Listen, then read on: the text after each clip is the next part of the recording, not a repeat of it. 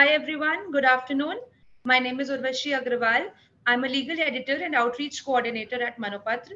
I would like to welcome you all to Manupatra Academy's summer webinar series. And for today's session on trademark law, we have with us Mr. Manish Jha, partner, JSA Law. Manish represents clients before Supreme Court, High Courts of various states, NCLT, NCLAT, NCDRC, DRT, DRAT, and many district courts. Manish routinely advises clients with respect to shareholders disputes, creditor disputes, insolvency and bankruptcy, IPR matters, constitutional challenges in tender matters, etc. Over to you, Manish, and we hope to have a fruitful session with you. Uh, uh, if uh, you have any questions for the audience, so most of them have permission to talk. It's a Zoom setting thing. Otherwise, people who cannot uh, talk in the session, please feel free to leave your answers in the Q&A and the chat session we'll be looking at them, not a problem. Yeah, hi. So, hi everyone. Uh, first, I sincerely ap appreciate the opportunity to speak before you all. And thank you so much for being here today.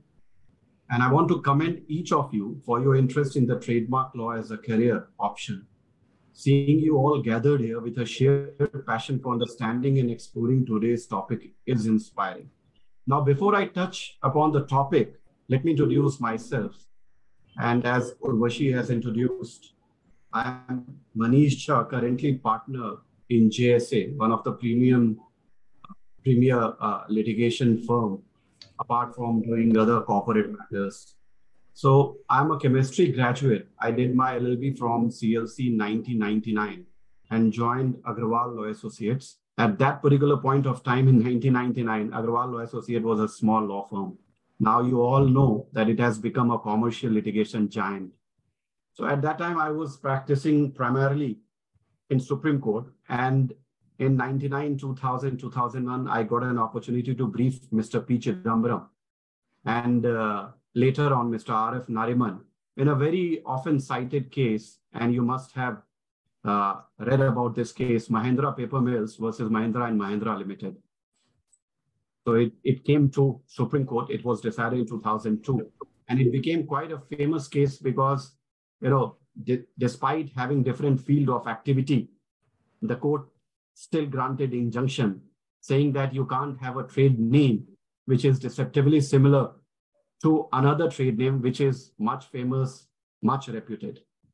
Uh, 2002 onwards, I joined Justice Manmohan. Presently, he is a third senior most judge in Delhi High Court. And I worked with him until 2008 when he was elevated to the bench. While working with him, I did a lot of trademark litigation as he was briefed by many law firms, big and small, in the Delhi High Court. And my exposure to this field there, and I started liking the field. And I developed a very keen interest because this field is intellectually very challenging. And if you read the history and if you go through it, and if you go to court, argue your own cases, you will feel that it is quite intellectually awakening and challenging too. In 2008, I joined JSA, where I got an opportunity to, the, to do the entire portfolio for PepsiCo. And PepsiCo, as a beverage giant, is very, very, their mainstay is their, all the trademarks, as you know, Pepsi and uh, Lay's and all other Sting recently. So if they feel that their trademark is threatened, then they go to court very fast and they seek some kind of injunction against the competitor or whoever is infringing or trying to infringe their trademark. So that is about me before that, now, since uh, trademark is like a badge, it shows that or it tells you that from if a Nike whoosh mark is there, everybody knows that it emanates from. Now, the next thing is that uh, I want to speak about what the trademark law is. And thereafter, I'll give a little bit of history of trademark law and then the evolution of trademark law in India and then we have to understand as a trademark lawyer that what are the categories of trademark, which you will, when you are advising a client, you'll have to say that what kind of trademark you have to adopt. So there is a generic trademark, there is a suggestive trademark, fanciful trademark. So I'll come to that later on. Then whoever is interested in IP litigation. So what is the IP litigation as of today or 20 years back in India was and what is the landscape as of today? Now, thereafter, I'll touch upon nature of work, what a trademark attorney does ordinarily, and then the skill set required for a trademark attorney to succeed in this field and the challenges which he faces once he starts practicing in this field. And then I'll give some of the case laws also, a budding lawyer or a young intern or a person who is on the cusp of becoming or starting practice must read before entering this field. And then I'll give you some of the top law firms also. If you are interested in joining some law firm, you can go to these law firms or try to have some kind of internship with them. And then thereafter, you can join them as a lawyer, full-time lawyer. So what is trademark law? Now it is a, category of property that includes intangible creations of human intellect. That's what why it is called intellectual property. Now, intellectual property right allow people to assert ownership rights on the outcomes of their creativity and innovative activity in the same way they can own physical property. Now, the four main types of intellectual property we all know are patents, trademarks, designs, and copyrights. Now, today I'm dealing with trademark, which is an essential aspect of intellectual property. Now, as I've stated earlier, the essential function of a trademark is to identify the source or origin of products or services exclusively. Hence, a trademark properly called indicates the source or serves as a badge of origin. That if I see a product with a swoosh mark or Mac mark, I know that this emanates from Nike. Or there's a three star stripes mark. I know that this shoe has emanated from Adidas. So therefore, it, it is like a badge or of origin of a particular company or a particular product. So the trademark serves to identify a particular entity as the source of goods or services. Now, history of trademark, it's very interesting that how it all started, and it all started, you know, years back, hundreds of years back. During the Roman Empire itself, the blacksmiths used, when they used to make swords, they used to have their trademarks on those swords. And then the first, which is reported one, the first trademark is of 1366, which was started by a beer company, brewery company, Stella Artois. That is in 1366. The first legislation is of 1266, Parliament of England under the reign of Henry III. They passed the first legislation in 1266. Now in 19th century, the first modern trademark law emerged. The first comprehensive trademark system in the world was passed by France in 1857 with the Manufacture and Goods Mark Act. Britain, as we all know, is in the forefront of all these uh, legislations. They started, in, they started it in 1862 by legislating an act which is called Merchandise Marks Act 1862. And for the first time, it made it criminal offense to initiate or imitate another's trademark with intent to defraud or to enable another to defraud. Thereafter, in 1875, Trademark Registration Act was passed. Now, in 1875, for the first time, they allowed formal registration of trademarks at the UK Patent Office. And the first, we all know in all these industries, the brewery industry is the first one which goes for this kind of registration. And the triangular logo of Bass Brewery is the first trademark registered.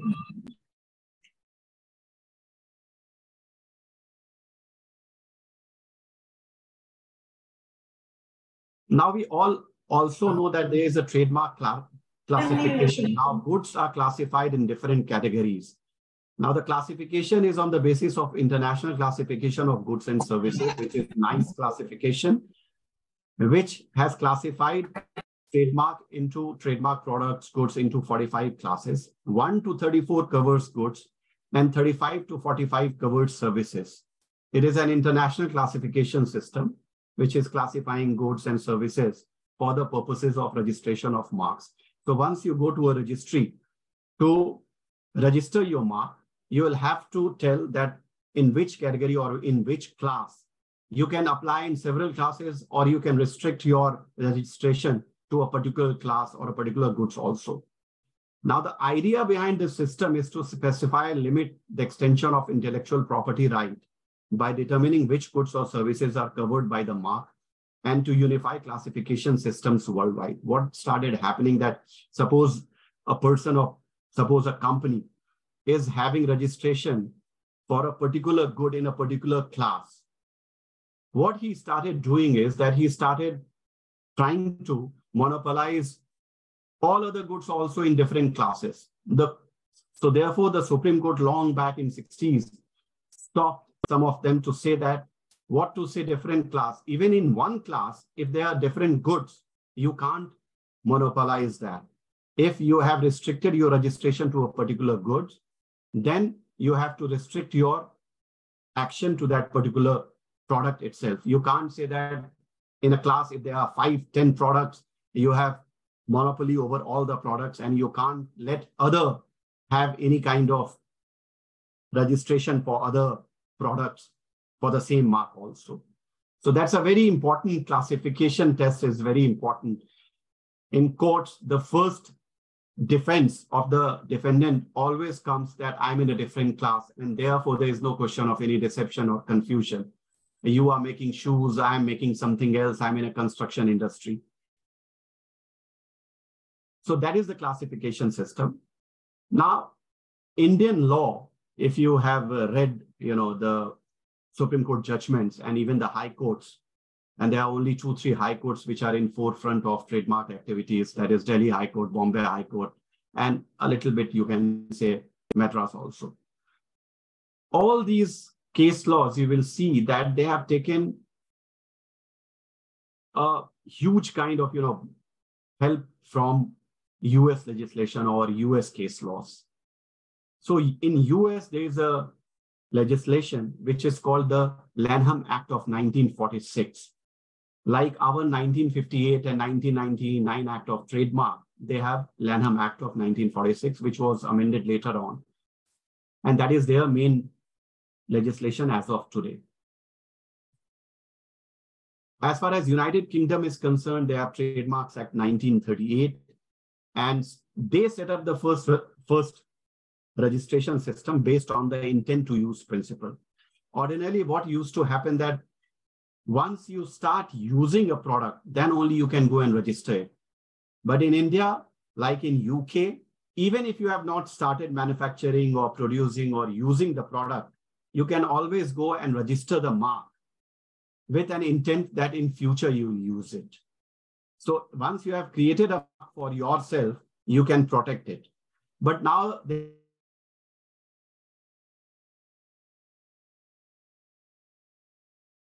Manish, we can't hear you. The audio was stuck like five seconds ago. Is it fine now? Yes. yes. Now? I'm sorry. So where was I? I was talking about case laws, I suppose.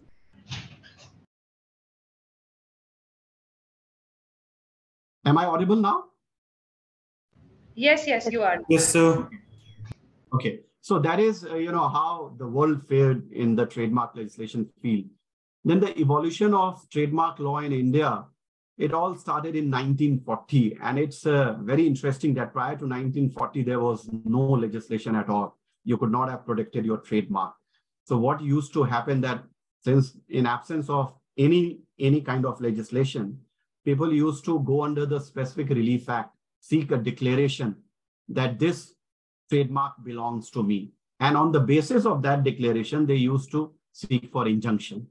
So to overcome this kind of problem, 1940 Act came into picture, which was the first legislation as far as India is concerned. Then in 1958, we believed that we need a better system where we can go for provide for registration, better protection of trademarks, and prevent fraudulent marks on merchandise.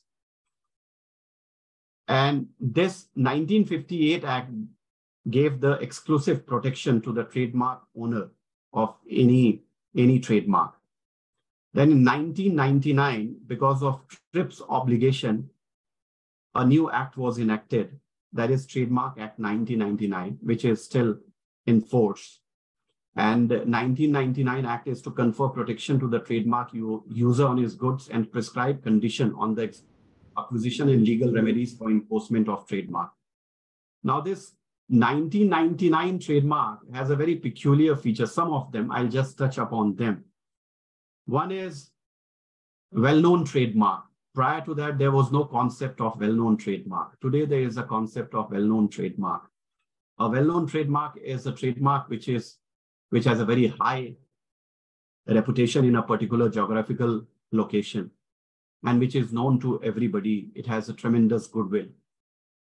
Either the court can declare a particular trademark as a well-known trademark, or you have to apply before the registrar who can declare it, looking into the your advertisements, your everything, your past, uh, uh, you know, reputation and everything to declare it as a well-known trademark. And well-known trademark has a benefit that it, it gets protection in the sense that even if the field of activity is something else of the competitor of the defendant, because you are a well-known trademark, suppose PepsiCo, being a well-known trademark, is only in the business of food and beverages, chips and uh, you know, uh, co uh, cola and other products.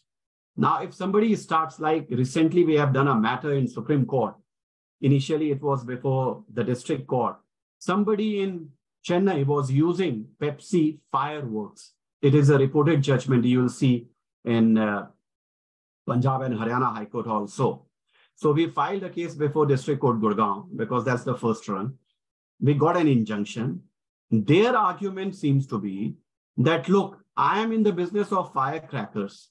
They are in the business of, you know, food. Where is the question of confusion? Nobody will get confused. If a person is going to buy firecracker, he'll not get, get confused that he is buying PepsiCo product.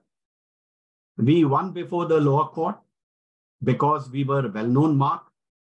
The injunction was continued by the Punjab and Haryana High Court in the appeal preferred by the other side. They lost it there also. Ultimately, they went to Supreme Court, and a very interesting thing happened that when the other side started arguing, the judge said the first thing, are you telling me that you are Pepsi fireworks? This is clearly dishonest. Please go. So, you know, well-known trademarks have a lot of, lot of benefits.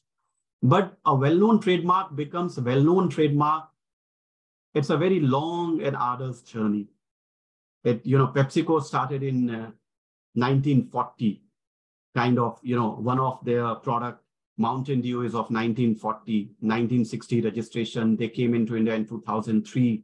So, and they have spent billions of dollars on advertisement. They have protected their right. So that is one aspect of 1999 Act, which is very important. The other is Section 29.4, and I'm sure you must have read that section. Section talks about infringement action. Now, 29.4 prior to 1999, and you will find case laws, everybody, all the defendants used to come to court with a defense that, look, there is a different field of activity. So to overcome that particular problem, the court enacted uh, uh, the you know 1999 Act enacted 29 Section 29.4, which gives protection even if the product is dissimilar. And you must read that provision Section 29.4 mm, very, very minutely because it is in play every now and then. So this was another change, substantial change in the 1999 Act. And then section 134, you must read it because if you start practicing, you will come. Now, what has happened that in every second matter, either the defendant or the plaintiff challenges the registration of the mark. And you all know, I'm sure, that even a registered trademark can be challenged. So even suppose I have a registration, suppose Mountain Dew is a registered mark. Somebody can file a case before the High Court now to challenge the registration saying that Mountain Dew is a generic word or whatever the basis under section 9 and section 11 of the Trademark Act. So that is also one, section 134 provides that if suppose a plaintiff files a suit for infringement and the defendant challenges the registration of plaintiff's mark, then the court dealing with the suit has to stay the suit, frame an issue, and has to wait for IPAB's decision. Now the IPAB is gone. Now it's the High Court which decides even the validity of registration of a mark. So 134 is also, though it was there, Patel Field Marshal has said a lot about section 111 and other sections. But 134 is also, uh, 124, I'm sorry, 124 is a very, very important uh, provision in the new act. And uh, as far as the trademark rule is concerned, initially trademark rule was of 2002. Now there is a new trademark rule of 2017. Now the trademark definition under the 1999 Act, if you see, is section 2M and section 2ZB defines trademark. And, and I'm not getting into what the trademark definition is. I'll only touch upon that what does a trademark do?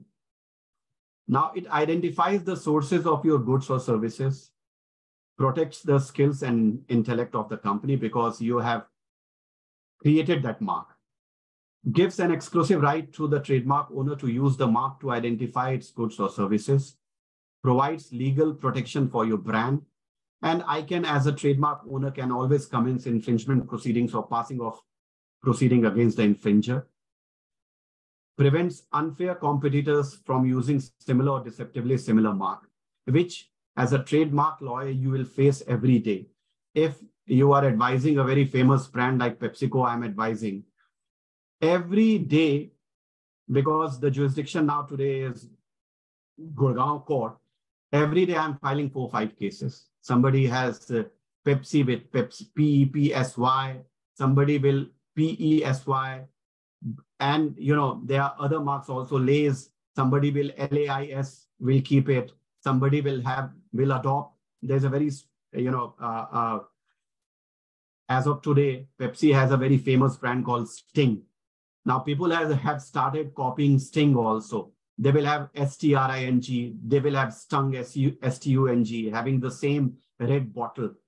So you have to always advise your clients to file suits for infringement as soon as possible.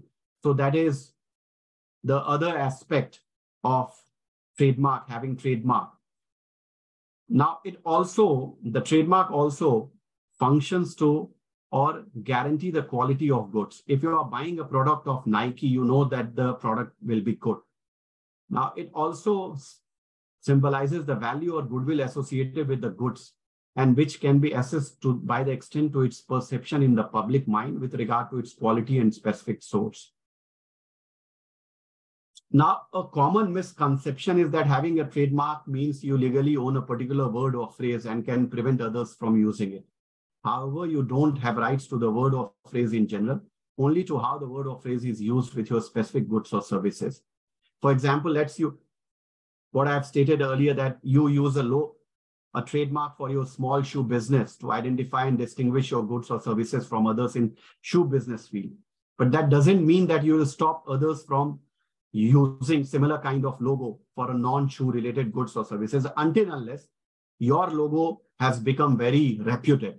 As I have said, that it is a well-known trademark or you have established tremendous kind of goodwill and reputation in the market.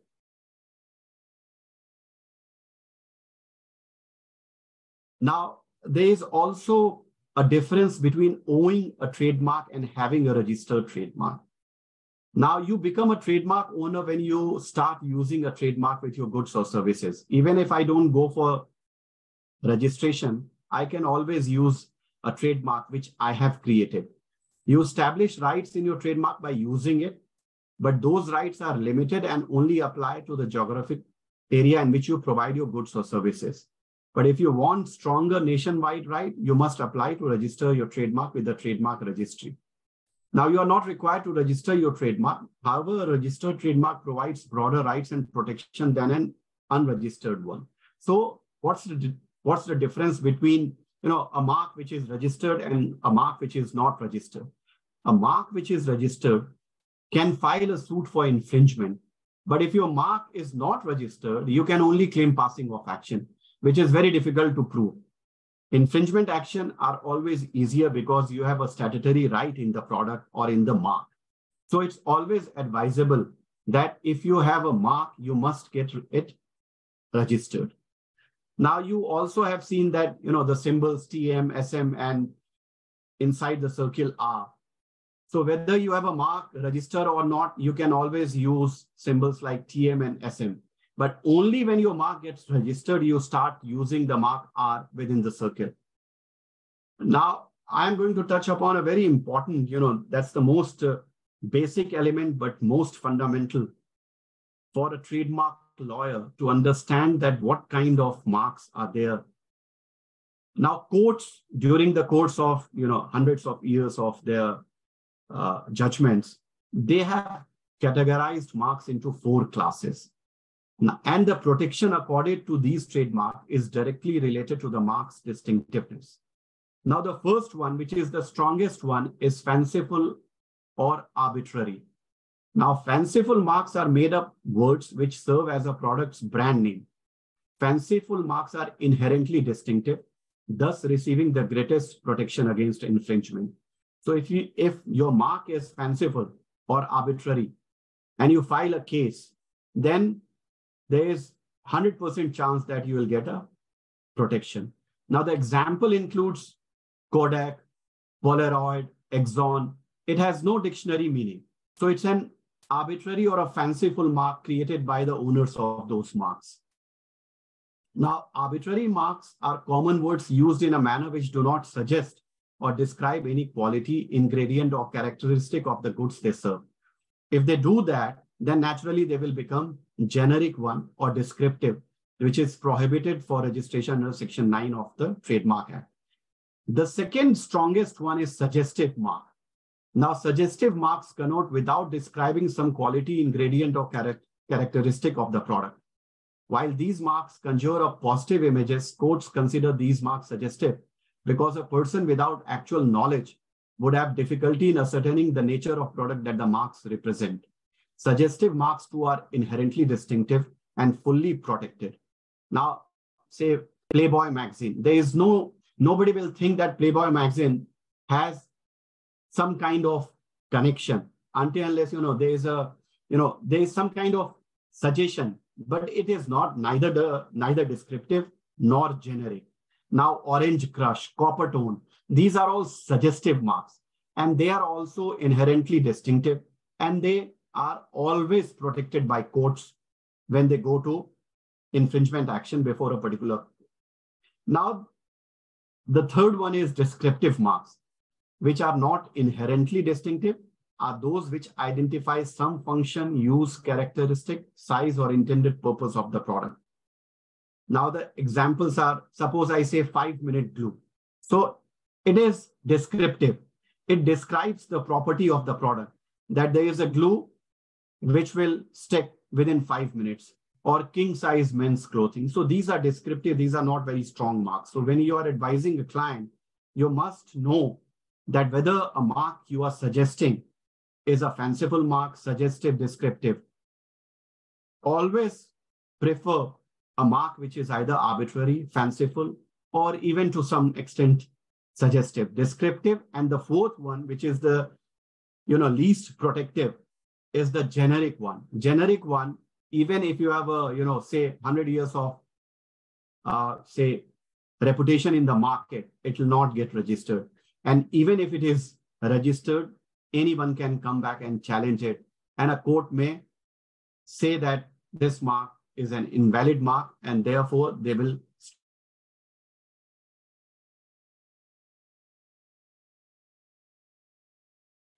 Your audio has gone again. Sorry. Is it there now? I'm sorry. Yes, yes, yes, yes, it is. Yeah. So the last one and the least you know, in the out of the four marks, which is the weakest one, is the generic one. Never suggest your client to have a generic mark. A mark is generic when it identifies a class of product or service regardless of source. So this generic mark you should never, like suppose you are in the business of tailoring and you have a mark called tailor. So even if you get it registered by some chance, somebody will file a case for, uh, you know, some, uh, it must be taken off the register and court may grant it.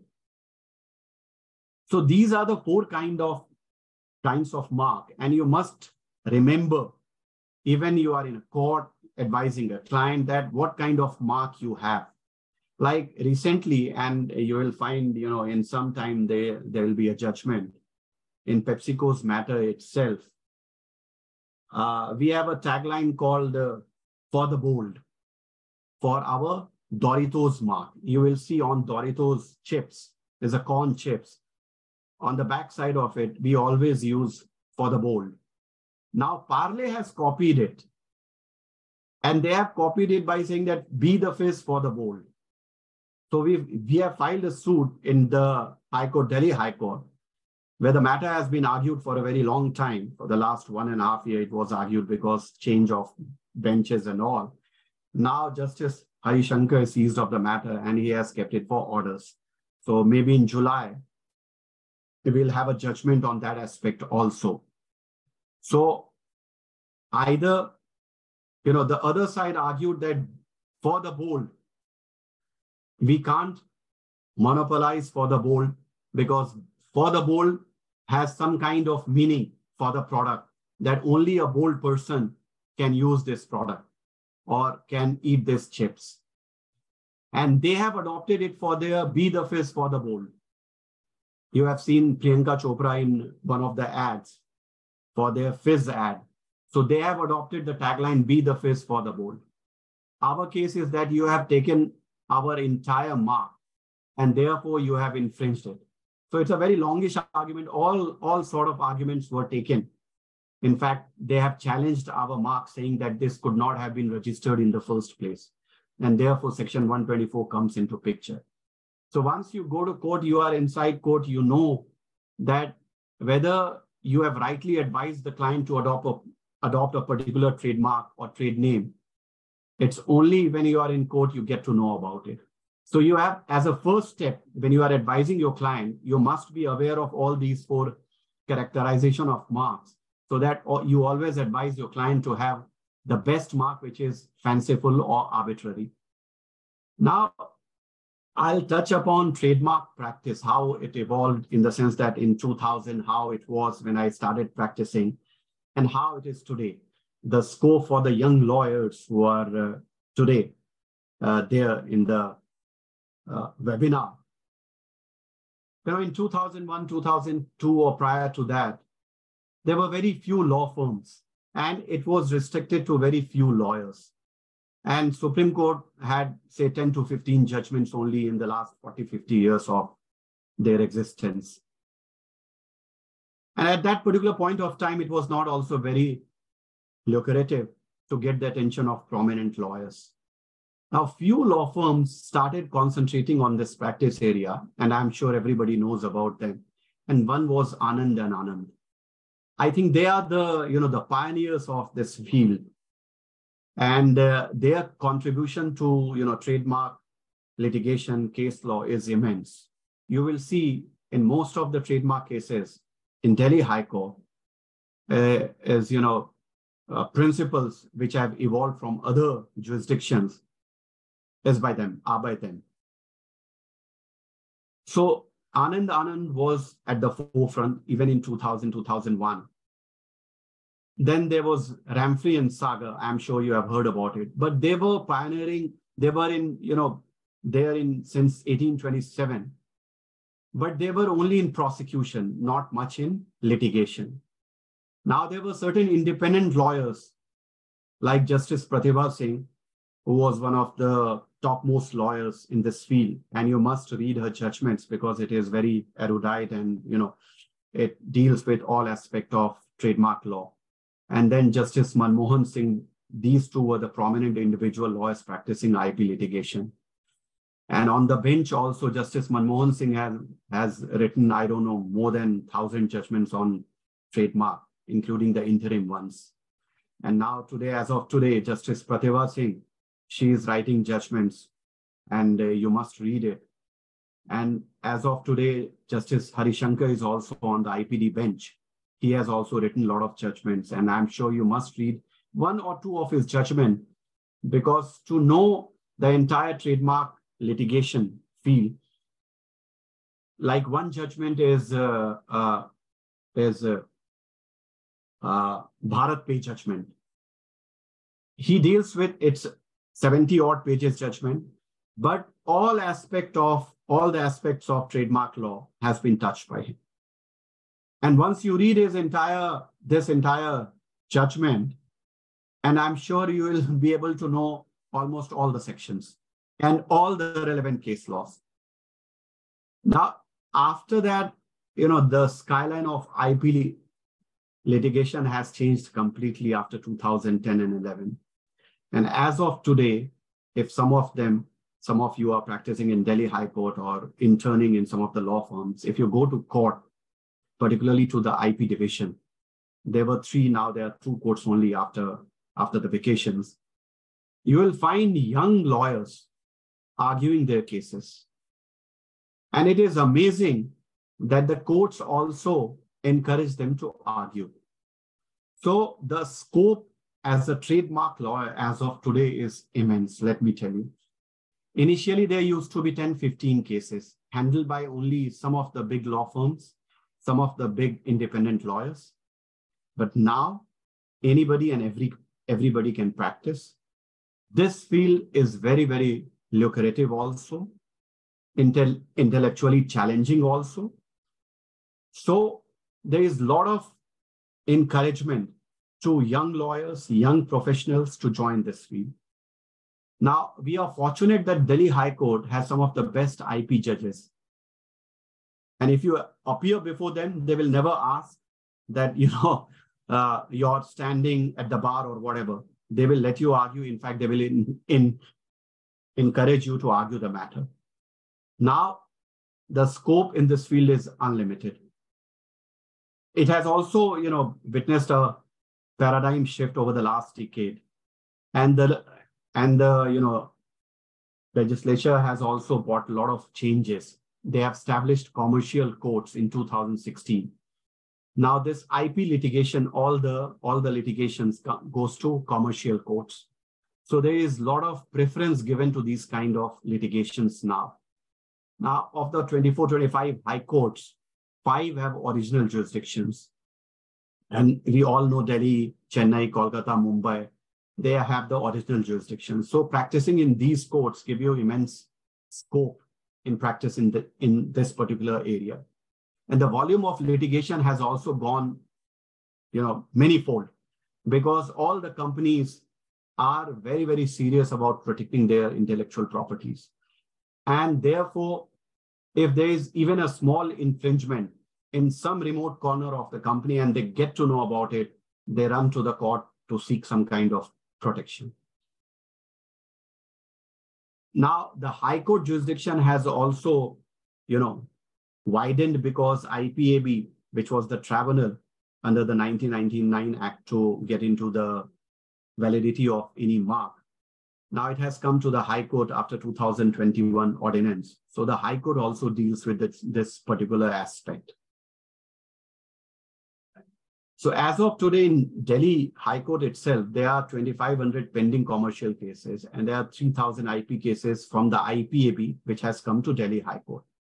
So as far as the volume is concerned, the young lawyers or professionals have a lot of opportunity to pursue this field and argue or uh, start practicing in this particular area of practice. Now, the second leg of my talk is that what are the challenges you face as a trademark lawyer and how to overcome those challenges. But prior to that, I'll touch upon this. What is the nature of work of a trademark attorney? And I don't want to dwell upon this fact that as a as to become a trademark attorney, you don't have to have a special kind of degree. if you are a lawyer, if you are chartered, uh, uh, you know, CS, you can go and appear before the uh, trademark registry. But as far as advocate is concerned, they can practice anywhere. You have to only read some case laws. You have to, uh, you know, uh, uh, read the statutes seriously, and you can start practicing. So as far as the requirement is concerned, there are none. You only have to a lawyer. As far as the skill sets are concerned, I'll touch upon it later on.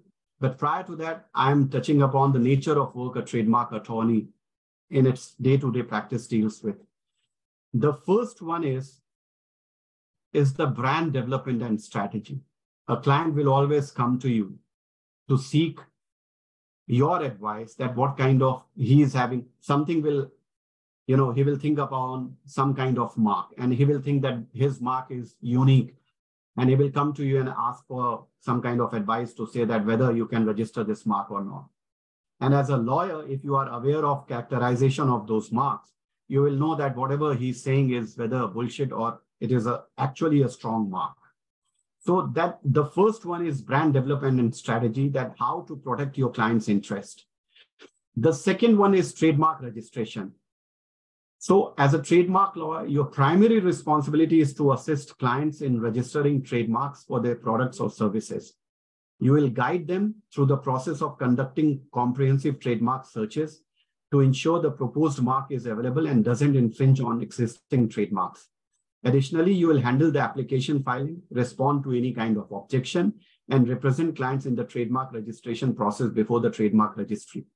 Now, this is also a very important aspect. What you will see once you start practicing or somebody who's practicing already must have seen that a peculiar kind of defense we encounter now every day in court. The judge asks the defendant that why have you kept this particular trademark? Now, I was doing a mark, and we you all know there is a trade name is a, is a Red Bull.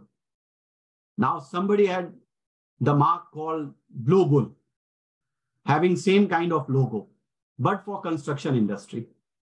So the court asked the other side that you have adopted this mark, you know this the Red Bull mark is quite famous.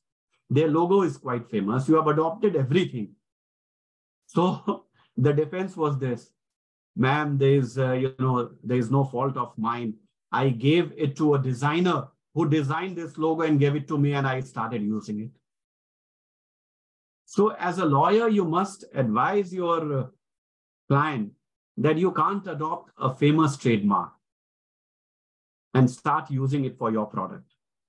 And therefore, you have to, the, at the first stage, even before going for registration, you have to see that whether that mark is available or not, whether it is on the register or not, whether somebody owns it or not.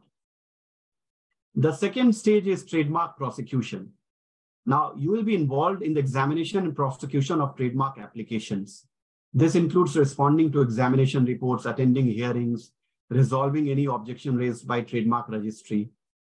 Once your trademark prosecution is and or you know your your mark is registered, the third, which is very challenging and where the uh, use of the lawyers are most, is the trademark enforcement, and where the litigation lawyers come into picture. Now, trademark lawyers in India, we play a very crucial role in enforcing trademark rights. We help clients monitor the marketplace for any potential infringements, conduct investigations, send cease and desist letter, and initiate legal actions. The fourth one is portfolio management, trademark portfolio management.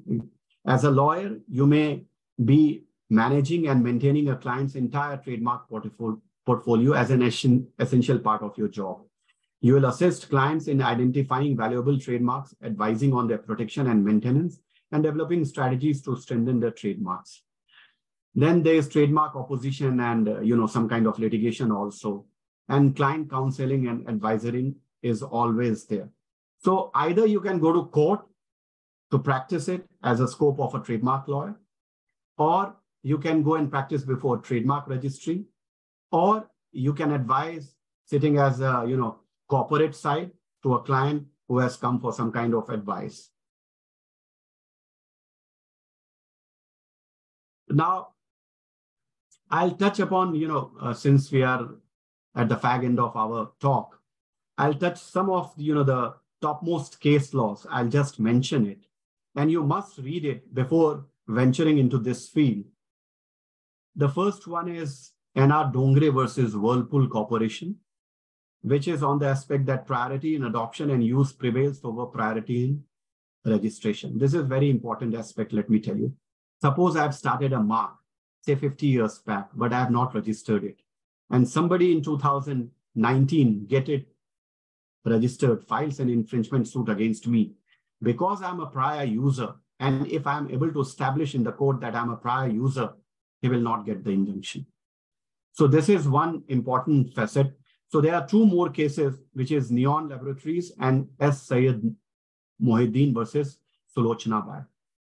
The second one is Vishnu Das Trading versus Wazir Sultan Tobacco, Tobacco Limited. There is another one which is Nandini Deluxe. The third one is on the aspect that registration of a composite mark not to confer exclusive right to individual non-distinctive parts of the mark, which is Ashok Chandra Rakhit. This is 1955 case. Then there is a case, Cadila Healthcare, which is one of the most celebrated ones. Then Lakshmi Kant Patel versus Chetanbhai Shah, which is 2002. Then on jurisdiction, jurisdiction aspect, which is Patel Field Marshal. And uh, often cited cases, Midas Hygiene. We cite this case to say that in cases of infringement, either of trademark or of copyright, an injunction must follow. If I'm able to convince the court that they have adopted the identical trademark as of mine, then the injunction must follow. So these are some of the top most uh, case laws which you must read. And the last one I'm saying is Kaviraj Pandit which is on the aspect that what is the difference between infringement action and the passing of action. Then, if you are in this practice, you are uh, still in college and want to specialize in this field, then I'll suggest that you should intern with any of these top seven, eight law firms, which are in this field for a very long time. Some of them are new but we all know about them. The first one is Anand and Anand. I don't have to say anything about them. And they have their offices in New Delhi, Noida, Chennai, and Mumbai. And they have all sort of practices from corporate to litigation to advisory, everything. The second one is Khaitan and Company, which is also a full service firm. And they have practitioners all, all across the con- country, Mumbai and New Delhi. The third one, which is a very old one, is RK Dewan and Company, Remfry Sagar, I have already talked about. As far as the new one is concerned, a very aggressive firm, Sai Krishna and Associates. They are doing quite well in this field. Lall and Sethi is another name. And Inttl Advocare, I'm sure you all have heard its name. And there is a new firm, not new in the sense that uh, it started in 1996, but it is uh, run by now two brothers, which is Sim and Sam. Simmons. And uh, yeah, and the two brothers are quite aggressive and they are representing uh, in the litigation. And there are several litigations. So these are the top law firms which you can look for joining. And prior to that, you can, you know, intern with them. And as far as the internship is concerned, we all know that what the process is, how you can intern. Uh, before ending, I'll just touch upon you know some of the challenges which you may face as a trademark lawyer and how to overcome. The first stage is the client interaction.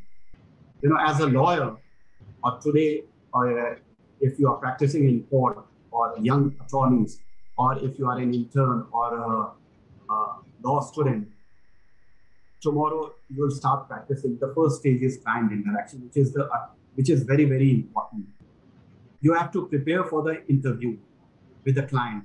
Don't go without any kind of preparation. Familiarize yourself with the basis, basic of trademark law and the specific details of the case. Have a list of questions ready.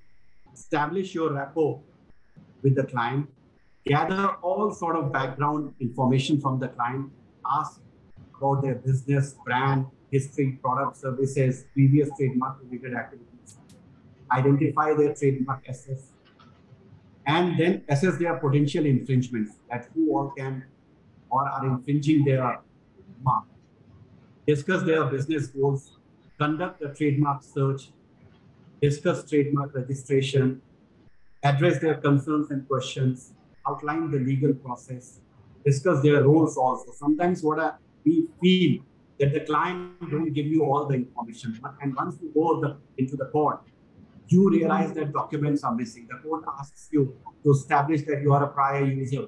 And at that particular time, you feel that, oh, I don't have the documents to show that I'm a prior user. So you have to discuss client's role in the sense that they must provide all the documents they have, all the information they have. And the last but not the least, as a lawyer, you must fight the structure because that's your bread and butter. So that is as far as the client instruction is, you know, interaction is concerned. The second stage, which is important before going to court, is preparing briefs. For that, you have to see that whether the whether the mark is a valid mark or registered trademark. You have to establish in the court, and for that, you have to establish the pleadings that there is a likelihood of confusion between the two marks. Evidence of infringement, presence, advertisement, priority of ownership, kind of damages you are seeking, cease and desist notices you have given. And the last is jurisdiction. Before filing a case, you must find out whether a particular court where you are moving has the jurisdiction or not. Most of the cases you will find that after filing the case, the court asks to state that, look, Mr. Counsel, this court has no jurisdiction. And then it becomes huge embarrassing for you to explain to the client. So therefore, must ensure that the court which you are moving as a jurisdiction. And the last is timely action. Don't delay the action. Advise advise your client that as soon as they come to know about the infringement or passing off, they must leave. Otherwise, even a short delay, there is a problem. You will not get party intention. And then, you know, two years, three years will happen and there is a problem which has happened with us in one of the cases where we delayed filing the suit five months, and thereafter the other side said that you know there is a delay. I've already established my practice. The court said that okay, then you file your reply and I'll decide the injunction application, and I will not. So the timely action is one of the very very important. Then thereafter, the third stage is preparation for briefing the counsel. Either you argue your own case or you brief a senior counsel. That also you have to familiarize yourself with all the facts, analyze the legal elements, conduct a trademark search, establish the likelihood of confusion, and the most important aspect is address potential differences. Even before going to court, you must know that what kind of defenses the other side has, and you meet all those challenges with the case law, with the relevant sections, because the court will ask you those questions. So, as a trademark attorney or as a, or as a litigation lawyer, you must be prepared to answer those questions by the court. And the last is you must rehearse and prepare for oral arguments. The fourth stage, which is the last one, in the life of a particular litigation is filing of written submissions. What I have felt in my 22 years of practice is that most of the time, if you write a written submission, point wise, concise one, then the court may follow it and the court may grant you a judgment on the basis of your written submission. So always as a trademark attorney or a litigation lawyer, whatever field you are king, after arguments, you must give whatever three pages, five pages, four pages written submissions to the court to help them to write a judgment. So these are the four stages which are important for a trademark attorney, for any any lawyer prepare for a case and argue. So that brings to the end of my talk. If you have any question for the next five minutes, you can ask me on the uh, challenges or whatever. Okay. So, uh, audience, the floor is open for questions, and most of you have the uh, permission to talk enabled, so you can unmute yourself, or you can simply leave your question in the Q&A box.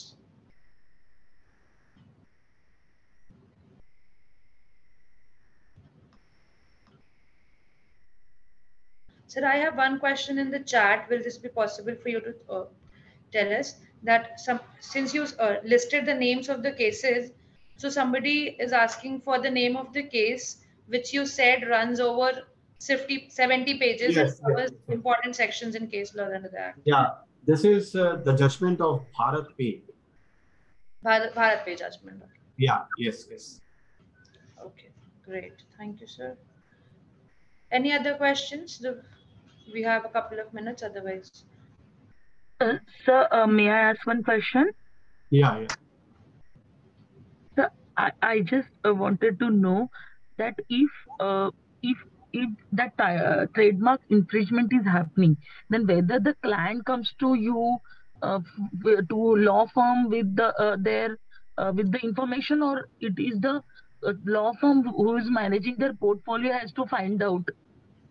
Yeah, so it's a uh, you know a very pertinent question. Sometimes what happens that a law firm which is dealing with the entire portfolio of a of a particular client have their investigators in the field and they come to know about some kind of infringement because the client may have its you know footprints across the country but they don't have the eyes and ears in the entire country so we have the investigators who find out that whether some kind of infringement is going on or not or if it comes to their notice they bring it to our you know attention we write to the client and ask them that you know this is this this is happening whether you want to proceed or not. And then we suggest advice that whether the mark is deceptively similar or not, what kind of uh, you know, challenges you will face in the court, what is the uh, you know the chances of success. So these kind of things happen. This is one aspect.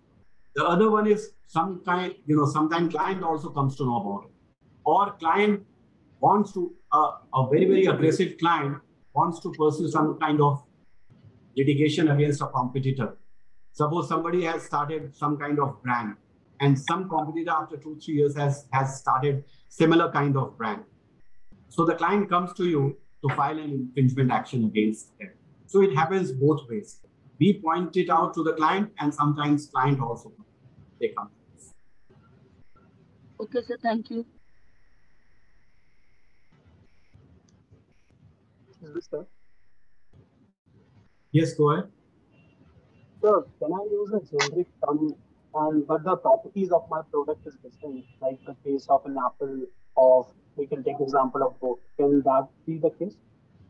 Like so your voice is taking, uh, you're, we're not able to hear your question clearly.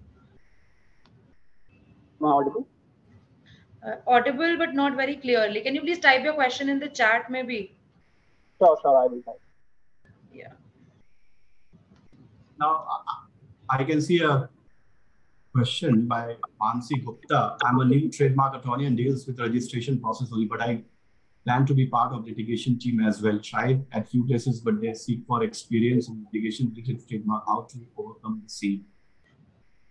I'm sure once you have started as a trademark attorney in the registration process, there you must be facing oppositions also. And once you start dealing with them, you will get to know about the case laws and what kind of you know uh, obstacles a particular client faces and then after some time you can only you can of course apply to different law firms who specializes in this field and naturally some of the big law firms a part of their team deals with the registration process so you will have experience there and thereafter you can always join as a litigator with their litigation. So if you are doing this practice, in the sense as a trademark attorney, for the registration process of different companies, trademarks.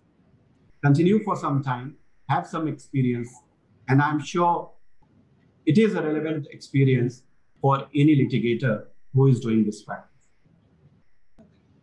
Sir, uh, uh, we are, you know, uh, way over time and I do not, do not want to waste a lot of time. But Anish has just typed his question, the person who, who we were not able to hear. Uh, can I oh, use sure.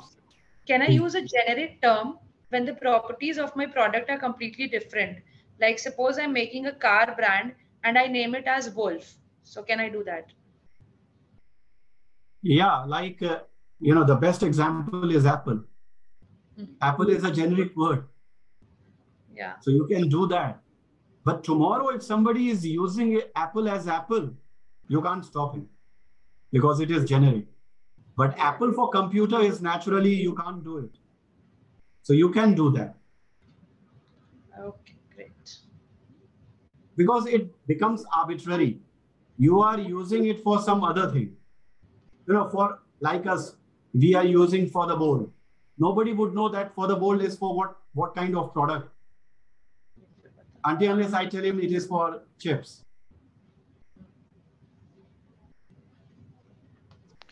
Sir, I have a question. Yeah, go ahead. Sir, uh, you mentioned that uh, in one of your cases, you delayed the filing by five months and uh, you were not granted the relief. And they said that other party has established its practice or something. So can you please dwell upon that? Yeah, that, yeah sure. So what happens that, you know, the trademark action, as far as the infringement action or the suit is concerned, it is a play of the first day you get the injunction or you don't get the injunction. So the ex parte injunction is very, very important. But if you delay the process, suppose you come to know about the infringement today, and after six months you approach the court, the court will ask you, when did you come to know about it? You will say, six months back. They will say that you are not very, you know, serious about your mark. Then let me hear the other side. They will call upon the other side to file reply then there is a rejoinder. It will take two years before the argument takes place for the infringement action. So always go to the court as soon as possible. Okay, sir. Thank you. Okay, thank you.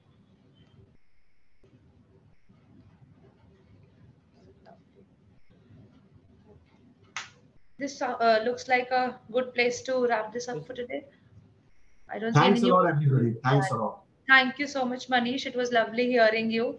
And I'm sure the audience also learned a lot. I also learned a lot from the session. And we hope to do this again soon, something like this. Thanks a lot. Thank you. Thank you all. Thank and you. all the best for your career. Thank you. Thank you.